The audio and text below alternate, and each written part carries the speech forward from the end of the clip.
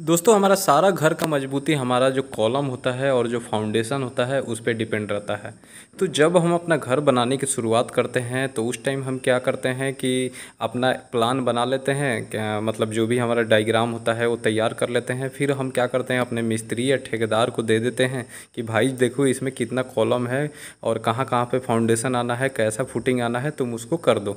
तो ठेकेदार लोग क्या करते हैं कि पहले उस प्लॉट को मार्किंग करते हैं। मार्किंग करने के बाद फिर उसके फुटिंग को तैयार करते हैं, फिर कॉलम को खड़ा करते हैं।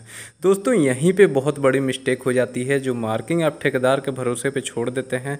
मैं, देखिए, सभी ठेकेदार ऐसे नहीं होते हैं। बहुत एक ठेकेदार जो एक्सपीरियंस होते हैं, अच्छे होते हैं, उनको काम करने का आइडिया होता है, तजुर्बा होता है तो वो गलती नहीं करते हैं। लेकिन बहुत सारे ऐसे जगह पर मैं देखा हूँ, जैसे इस वीडियो में भी मैं आपको बताऊँगा आगे। देखिए, यहाँ पर जो मार्किंग किया जा रहा है, ठीक है? मार्किंग करने के बाद आप जैसा जानते हैं कि जो हम अपने घर में फुटिंग देते हैं तो ज़्यादातर दो टाइप का फुटिंग दिया जाता है। एक होता है कॉन्सेंट्रिक फुटिंग और दूसरा होता है इसेंट्रिक फुटिंग वीडियो ध्यान से देखिएगा तो सब कुछ आपको डिटेल में समझ में आ जाएगा। ऐसा नहीं है कि नया नया चीज़ आई या नया नाम सुन के आप डर जाएँ कि ये वीडियो मेरे लायक नहीं है। लेकिन दोस्तों, ये सभी के लिए वीडियो है क्योंकि बहुत बेसिक जानकारी है।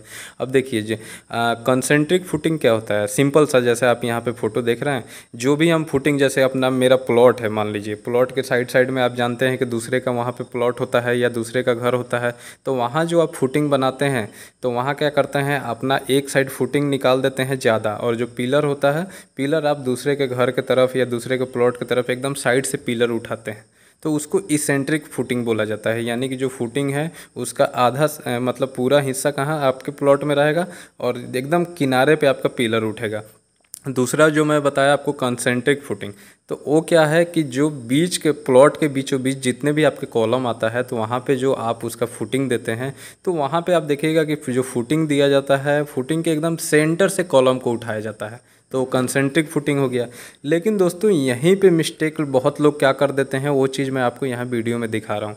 अब जैसे यहाँ देखिए, यहाँ आप देखिएगा कि जो सेंटर का, यहाँ पे फुटिंग दिया गया है, इसमें आप ध्यान दीजिएगा फुटिंग पूरा एक साइड है और जो पिलर है, पिलर एकदम साइड में घसका के उसको एकदम साइड में कर दिया गया है। ऐसे ही तीन चार आपको और आगे का भी मैं दिखा रहा हूँ, आप ध्यान से देखिएगा तो।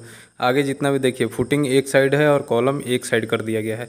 यानी कि बीच में भी आप उसको इसेंट्रिक बना दिए हैं। कहने का मतलब जैसे हम साइड में दे रहे थे, साइड में तो हमारा वो मजबूरी होता है। कि हमें वैसा देना है क्योंकि दूसरे के प्लॉट में हम अपना वहाँ फुटिंग को आगे नहीं बढ़ा सकते हैं अपना जो स्टील आगे तक उस उसके प्लॉट में आप कैसे अपना फुटिंग डाल पाइएगा कैसे पिलर को बढ़ा पाइएगा? तो इसलिए वहाँ मजबूरी लेकिन सेंटर में आप ऐसा क्यों करते हैं? अब ये दोस्तों क्यों होता है? क्योंकि हमारी आ, कमी से ठेकेदार को जानकारी नहीं होती है, जब वो मार्किंग करते हैं, उसी टाइम में गलत, गलती कर देते हैं। सही से उसका सेंटर लेआउट नहीं निकाल पाते हैं, सेंटर लाइन नहीं निकाल पाते हैं। तो जो पिलर जब खड़ी होती है, तब आपको समझ में आता है कि ये तो बहुत अपने जगह से बहुत भागा हुआ है। अब ये देखिए, इसके वजह से होता क्या है कि आपका पूरा घर का जो डिज़ाइन है, वो तो ख़राब होता ही है। अब ये देखिए, ये जो पिलर का लाइन है, ये बिल्कुल अलग हो गया तो जो भी आपकी अब दीवार आएगी, जो प्लिंथ बीम आप डालिएगा, पिलर से पिलर उसको जोड़िएगा तो फिर उसी प्लिंथ बीम पे आपकी दीवार आएगी। तो यानी कि जो आपका प्लान है, वो प्लान तो बदल गया। एक साइड आपको ज़्यादा एरिया हो गया, एक साइड कम एरिया हो गया तो ये तो दिक्कत होती ही है। दूसरा चीज़ ये दोस्तों, कि अब इसको बनाने में भी बहुत बड़ी मिस्टेक की जाती है। सबसे पहले मैं जैसे आपको बता दूँ कि जो कंसेंट्रिक फुटिंग होता है, माने कि जो हम जैसे मैं बताया आपको कि बीच के प्लॉट में जो हम अपना फुटिंग देते हैं और उसके एकदम बीच में से हम अपना कॉलम उठाते हैं।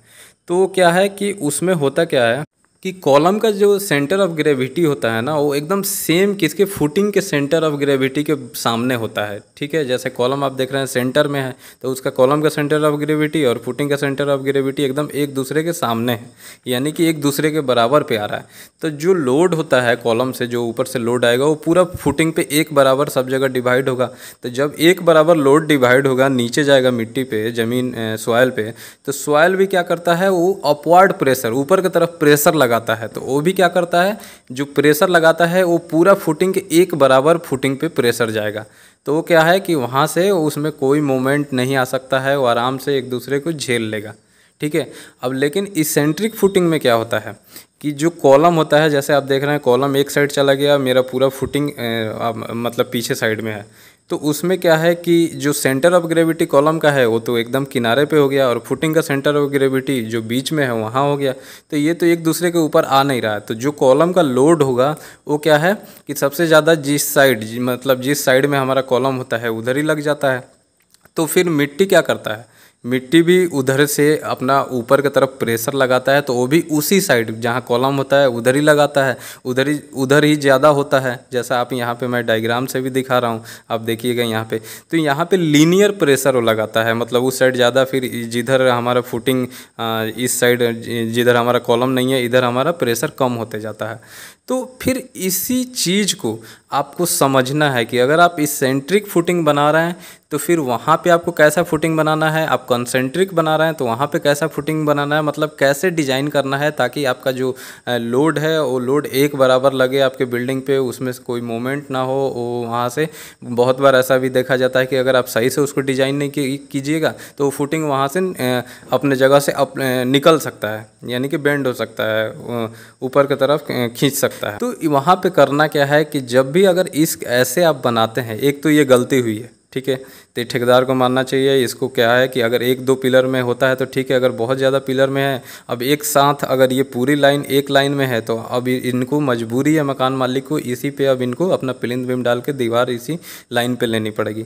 अब जैसे कि मान लीजिए एक दो है तो वो तो आप तोड़ के थोड़ा सा रिपेयर कर सकते हैं, चलिए। लेकिन अब ज़्यादा है, पूरी लाइन का ही है तो उसको तोड़ना और घर को कमज़ोर करना, फिर आपका मटेरियल का नुकसान तो ये समझिए कि आपका बहुत नुकसान है। तो दोस्तों, फिर मैं आपको वही बता रहा था कि अगर ऐसा केस हो जाता है कि आपका, आप वहाँ पे इसेंट्रिक फुटिंग बना रहे हैं, या तो मजबूरी है या फिर गलती से तो यहाँ पे करना क्या चाहिए था कि जो कॉलम का जो कॉलम के नीचे जो फुटिंग आप दिए हैं तो उसके नीचे उसके जाल को आपको हैवी करना पड़ेगा, यानी स्टील को बढ़ाना पड़ेगा।